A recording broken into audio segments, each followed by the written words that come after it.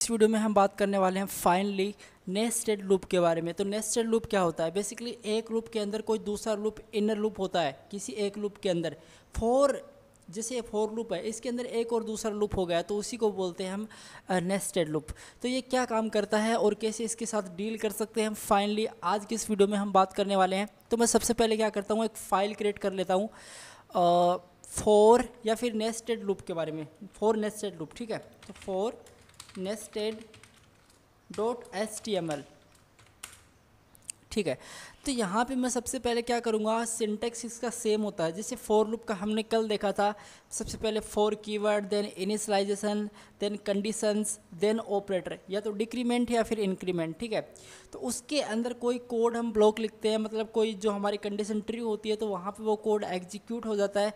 Then उसी के अंदर हम एक और फोर लुप का यूज़ कर लेते हैं और वो कोड हमारा उस कोड के बाद रन होने के बाद में प्रॉपरली रन हो जाता है।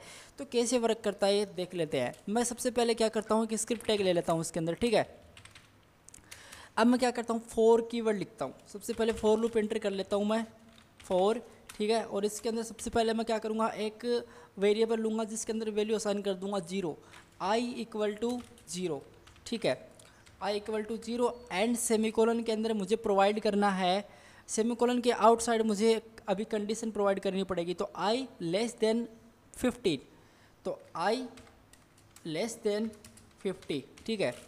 और यहाँ पे मैं अगेन इंक्रीमेंट ऑपरेटर का यूज़ कर सकता हूँ तो आई प्लस प्लस ठीक है? अब इसके अंदर मुझे क्या करना है? डॉक्यूमेंट डॉट राइट आई को करूँगा मैं।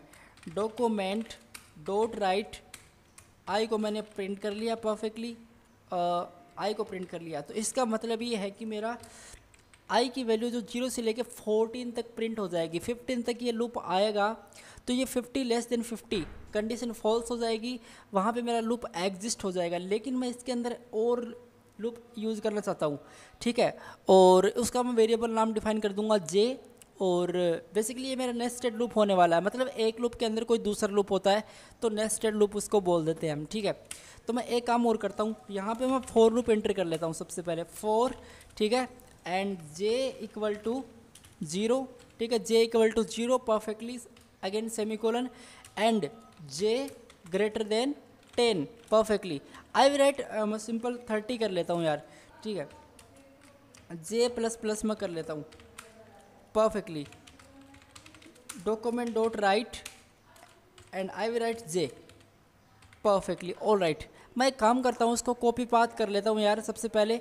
कॉपी पाथ कर लेता हूँ कंट्रोल प्लस वी कर लेता हूँ उसको और जैसे मैं एंटर करूँगा तो अब अभी यहाँ पे देख सकते हैं आप कुछ, आपको ऐसा मिल रहा है, लेकिन मैं आपको एक एक्यूरेट दिखाता हूँ ये, ठीक है ठीक है। तो तो गाइज़ जिसको और बेटर से हम कैसे अंडरस्टैंड कर सकते हैं, इसके बारे में अभी बात कर लेते हैं। देखिए, सबसे पहले मैं डॉक्यूमेंट डॉट राइट यहाँ पे मतलब आई की जो वैल्यू थी, मैंने जितना भी चलेगा लूप उसको मैंने प्रॉपरली प्रिंट कर दिया है यहाँ पे, ठीक है। लेकिन मैं करूँगा क्या? ऐसे बहुत ज़्यादा बड़ा हो जाएगा तो मैं यहाँ पे क्या करूँगा?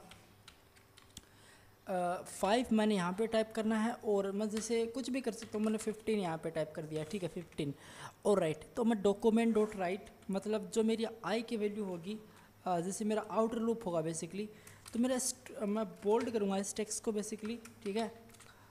बोल्ड मैंने इसको किया अगेन मैंने इसको बोल्ड टेक है, उसको मैंने क्लोज कर दिया, यहाँ पे मैं लिखूँगा मैं आउटर लूप परफेक्टली कैनकैंटिनेट कर रहा हूँ बेसिकली प्लस का यूज़ करके प्लस का यूज़ करके बेसिकली कैनकैंटिनेट करते हैं हम जावा के अंदर और यहाँ पे मैं जो मेरी आई की वैल्यू होगी वो प्रिंट कर दूँगा और अगेन मैं यहाँ पे क्या करूँगा एक बी आर लाइन मतलब मैं एक न्यू लाइन से वो प्रिंट हो जाए, ठीक है? तो इतना करने से गाइज़ क्या होता है अभी यहाँ पे इसको मैंने कैनकैंटिनेट करना पड़ेगा सबसे पहले, ठीक है? तो इतना करने से क्या होता है, कुछ ऐसा आ रहा है। ठीक है, लेकिन ये समझ में नहीं आ रहा कि क्या हो रहा है यहाँ पे। देखिए, इसको और बेहतर अंडरस्टैंडिंग करने के लिए मुझे यहाँ पे क्या करना पड़ेगा? यहाँ पे जाके मेरा इनर लूप होगा, ठीक है? डबल कोट्स के अंदर मेरा इनर लूप प्रिंट होगा। कैन कैंटिनेट कर रहा हूँ मैं किसको? जे को। बेसिकली जे मेरा इसके अंदर जे वेरिएबल है तो जे की जो वैल्यू होगी मैं कैन कैंटिनेट करके, ठीक है कैन कैंटिनेट कर देता हूँ। और उसके इन साइड में अगेन न्यू लाइन मतलब ब्रेक बी आर का। ब्रेक कर दूँगा, ठीक है? एच का टेक होता है बेसिकली ठीक है, अभी देखिए। ओ राइट आप देख सकते हैं। सबसे पहले लुप आउटर लुप ज़ीरो सबसे पहले मुझे यहाँ पे स्पेस दे देता हूँ थोड़ा सा ताकि ये थोड़ा सा कूल दिखे। ठीक है गाइज़ अब देखिए।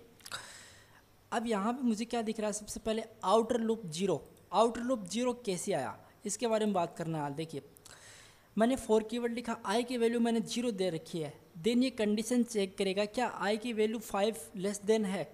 ऑब्वियसली ये तो कंडीशन ट्रू हो जाती है। फिर क्या करेगा, ये डॉक्यूमेंट डॉट राइट के अंदर जो मैंने आई को टाइप किया है यहाँ पे, वो मेरी आई की वैल्यू ज़ीरो थी, वो प्रिंट हो गई, ठीक है? तो ये वैल्यू मेरी प्रिंट होता, हो जाती है।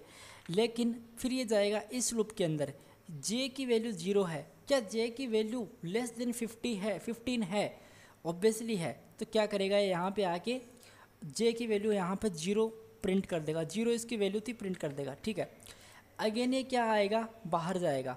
अब ये क्या करेगा? इस प्लस ऑपरेटर मतलब प्लस करेगा। बाई वैल्यू इसकी प्लस वैल्यू हो जाती है। मतलब एक इसके अंदर, ज़ीरो के अंदर ऐड हो जाएगा तो मेरा क्या होगा? Zero plus one equal to one हो जाएगा। मतलब यहाँ जे की वैल्यू क्या हो चुकी है? वन हो चुकी है। ठीक है गाइज़ जे की वैल्यू वन हो चुकी है। अब कंडीशन चेक करेगा क्या कि जे की वैल्यू जो वन है वो फिफ्टीन से लेस देन है ऑब्वियसली है। तो यहाँ पे मेरे पास क्या प्रिंट हो जाएगा जे के अंदर वन प्रिंट हो जाएगा। ज़ीरो के बाद में वन प्रिंट हो जाएगा, ठीक है? टू कैसे आया, देखिए। अगर क्या मेरी जे की वैल्यू टू कैसे आया, देखिए। ये मेरा प्लस है, ठीक है? बाहर जाएगा, लेकिन ये अभी वन वैल्यू थी, इसके अंदर एक और प्रिंट हो जाएगा। एक एक ऐड करता जाएगा बेसिकली ये। क्या? अब क्या हो गया? जे की value one plus one equal to two मतलब टू जे की वैल्यू हो चुकी है। क्या जे की value two fifteen less than fifteen less than है? ऑब्वियसली है। तो क्या प्रिंट कर दो जे को? ऐसे ऐसे करते चलता जाएगा और जब ये यहाँ पे आएगा तो ये वन कैसे आता देखिए। जब ये फिफ्टीन लेस देन फिफ्टीन करेगा फिफ्टीन लेस देन फिफ्टी करेगा तो कंडीशन हो जाती है यहाँ पे इसके जस्ट नीचे यहाँ पे बेसिकली फॉल्स ठीक है? कंडीशन हो जाती है फॉल्स तो ये लूप एग्जिट हो जाएगा। फिर ये चेक करेगा, क्या?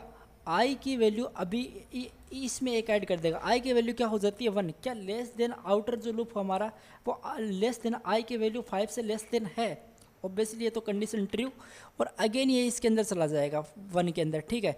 ऐसे से गाइज़ ये फोर बार प्रिंट करेगा। आप देख सकते हैं, यहाँ पे आपको for outer loop basically bold के अंदर आपको फोर ही मिलेगा। फोर के नीचे कोई नहीं है।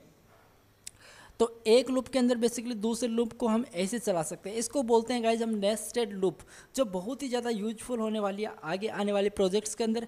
तो I hope guys this video for help for you और आज का वीडियो आपको अच्छा लगा होगा।